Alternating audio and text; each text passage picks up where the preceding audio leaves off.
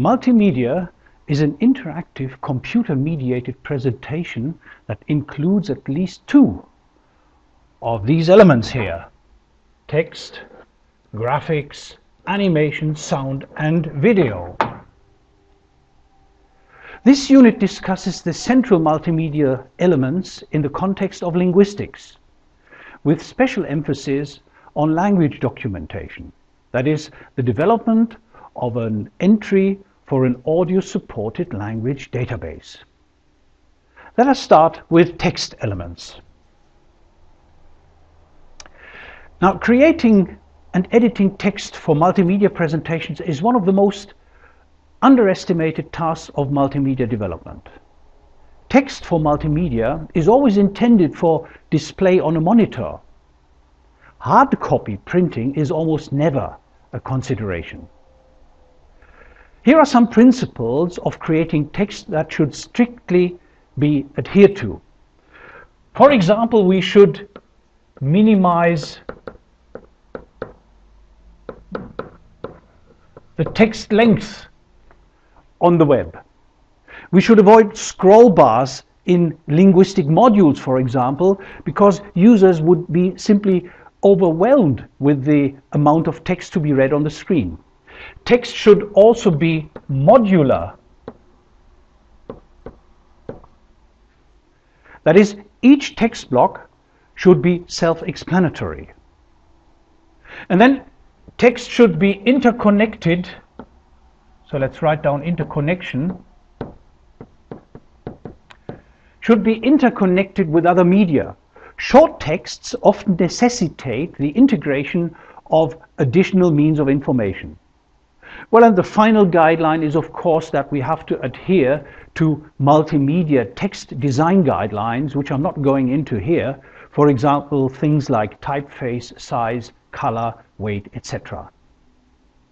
A special problem in the context of language documentation is the use of exotic symbols. Well, here are some of them. For example, we have phonetic symbols.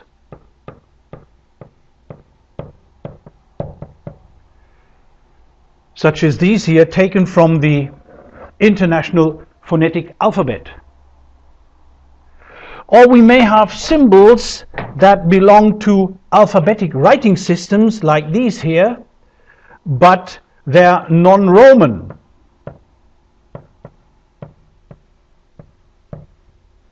So here we have examples of the Cyrillic alphabet, of the Georgian alphabet, of the alphabet used in Hindi, and um, characters used in Greek. Then look at the next set of symbols. These are, of course, taken from Chinese and they are logographic. So they have to be displayed in well-designed linguistic websites as well. And finally, we have characters whose orientation is not from left to right, but from right to left. And the Abjad writing system used in Arabic, for example, is an example here. Let's next look at graphics. Now, depending on their function, still graphics, that is graphics that where nothing moves, can be grouped into three types. Graphic support, navigation, and illustration. Well, let's look at some examples here. Now here you see an image of a speaker that is used for simple graphic support. In language recordings, it's a good idea to represent the speaker who was recorded. Or let's look at another example. Here you see navigation graphics. For example, arrows and home buttons, or simply icons that are used to remind the user of where he or she is. Well, and finally, we have illustrations.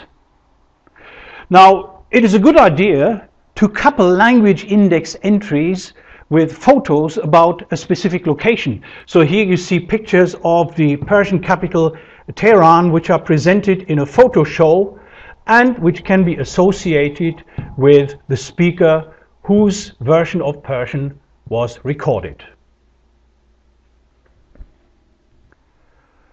Mostly, these graphics are bitmap graphics in formats designed to match the requirements of the internet. For example, we use the JPEG format or the GIF format or the PNG format. So these are common formats um, that are used for the representation of graphics on the web. Let's now look at animation. Now, animations are important in many ways. They can model theoretical processes, modeling. They can show paths of movement operations. And they can add fun to websites. So this is represented in gray here because this aspect should not be overemphasized. Let's again look at some linguistic examples. Now here you have a typical example of a simple motion animation where we present diphthongal off glides by means of an animation. Boy. You can see the off glide, the transition from the uh, nucleus to the off glide by means of an animation path. The next example I would like to show represents some sort of shape animation which can be used to represent um, the movement of, for example, articulators in what uh, in particular airstreams. Here is an example that represents the glottalic egressive airstream that is used to produce ejective consonants. Ak, a. Again. Ak, a. My final example can be referred to as morphing where a sequence of different pictures is played so fast that we perceive it as a simple animation sequence.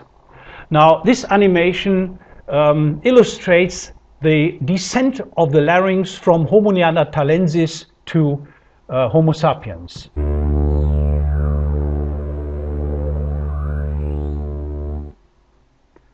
Normally, most animations are accompanied by a considerable degree of interactivity and in many cases, as you heard, by sound. So let's look at sound next.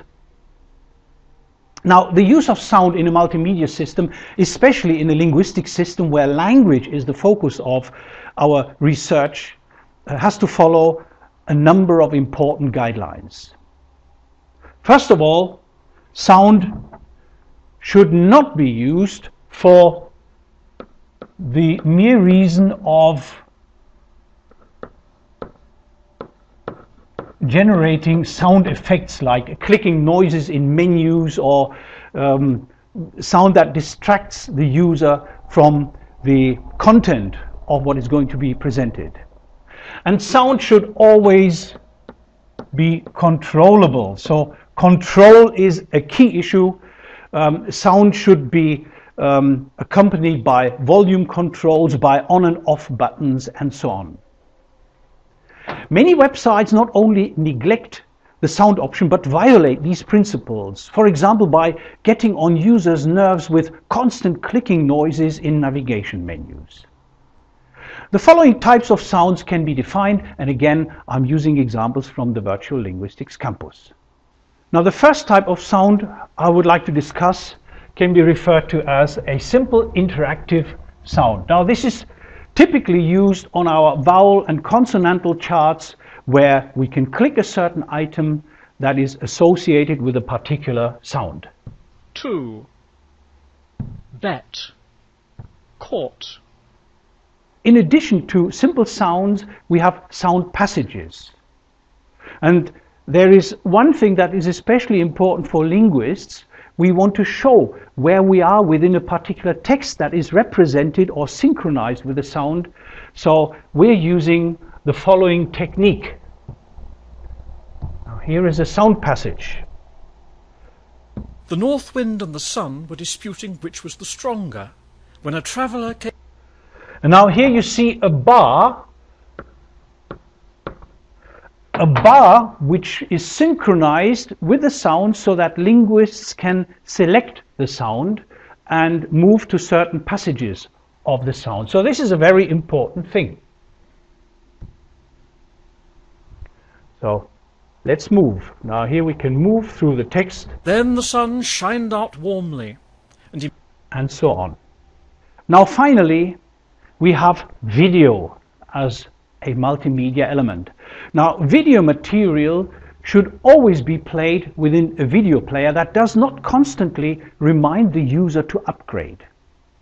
A suitable option is to produce video material in such a way that it can be used on a barrier-free platform such as YouTube. The videos that are produced can be distinguished in two ways. On the one hand, we can produce simple screencasts. I will show an example in a second. And then, secondly, we have complex videos. Now, what are screencasts? Well, everything I'm doing on this interactive whiteboard. So, for example, if I draw something and erase it again, is recorded during this e-lecture. That is, a cast of the screen is being taken. Typical application in linguistics are linguistic software, linguistic tools. Well, we should not really waste our time introducing students to the handling of software anymore in, in class meetings. This can be done very well in terms of screencasts. Now, here you see a typical screencast that is an introduction to a computer program and to the basic steps of using it. The program is um, Camtasia Studio by TechSmith, the program we are using to record e-lectures of this kind. This is what it's like. Now click the red record button or use the hotkey F9 and a 321 countdown appears. Then begin recording. Everything that happens on your screen and what you're saying into the microphone is recorded. Finally, we have complex video clips. That is a full recording with a camera, thus everything you're watching now. So now I'm very close to the camera and everything that is being recorded is added to the video clip and we combine it with screencasts as well. Let's summarize.